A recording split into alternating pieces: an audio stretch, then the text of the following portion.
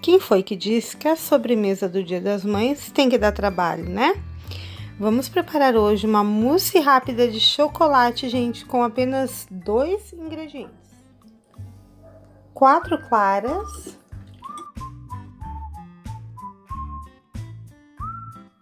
que deverão ser batidas em neve, e 200 gramas de chocolate que deverá ser derretido no micro-ondas em potência alta por um minuto.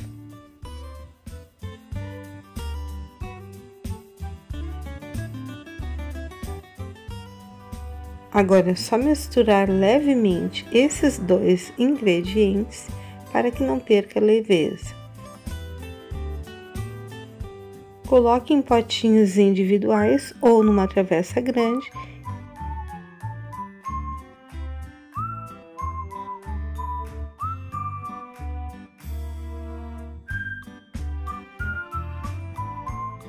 e leve à geladeira por no mínimo 4 horas. Uma sugestão para servir é servir com chantilly e morango. Fica uma delícia.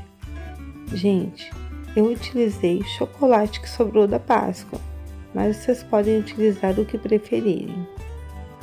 Espero que tenha gostado da dica de hoje. Curta, compartilhe e inscreva-se no canal.